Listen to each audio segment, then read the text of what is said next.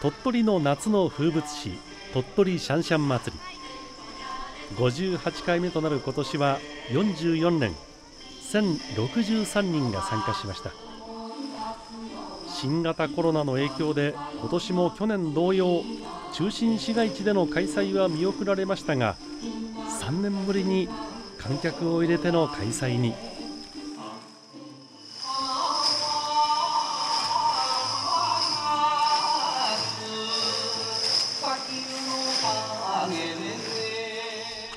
白と黒のハッピで力強く舞うのは結成26年の楽人衆です。その中にカラフルなハッピの踊り手が。実はこの3人陽気連のメンバーなんです。合同で参加したのには理由がありました。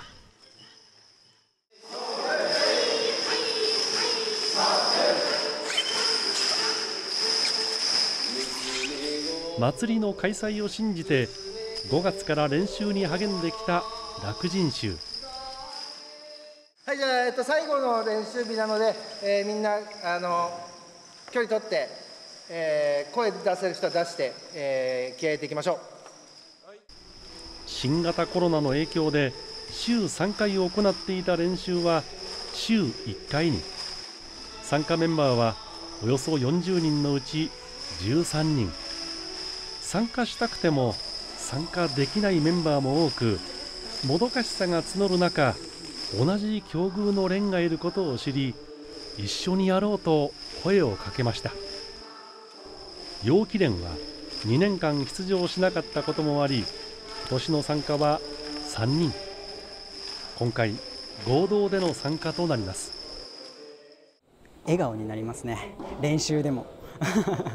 楽しいですね。とにかくしんどいっていうのを全部楽しさに変換して踊りたいですね。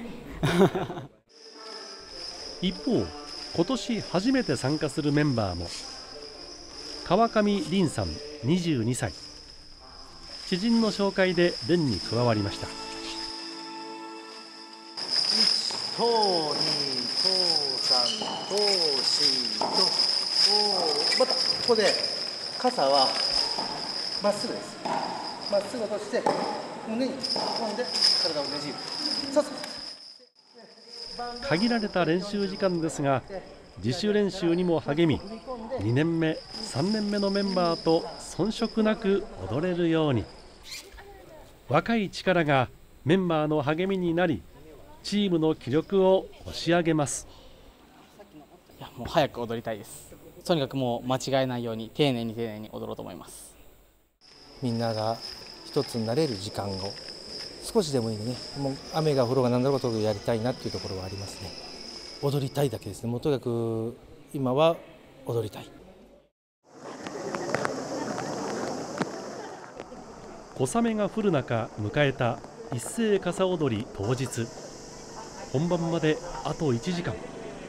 踊り手たちが続々と集まります。まあ、陽気連っていうチームの名前から太陽のように喜ぶ。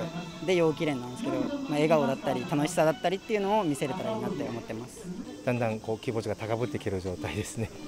違う連と踊っても揃ってるとかあと楽しそうだねとかあの皆さんにアピールできるのでができたらと思ってます。会場にはおよそ2300人の観客が待ちに待った3年ぶりの光景です。3、2、1、スタート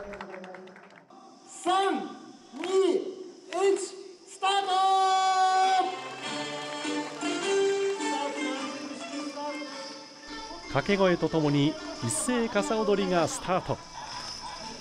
雨が上がり西日が差し込んだ競技場に軽やかな鈴の音が響きます。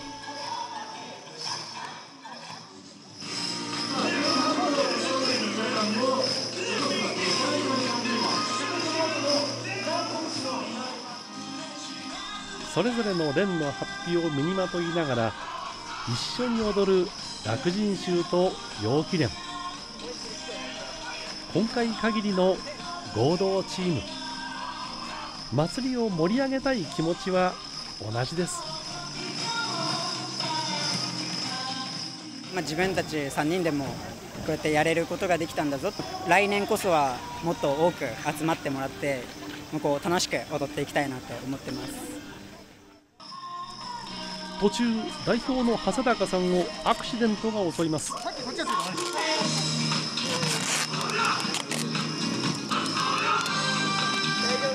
とうございます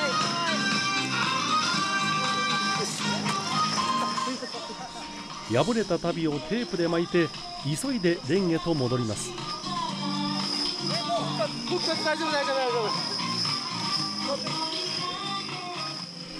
来年は一緒に踊ろう。参加できなかった仲間の分も傘を振ります。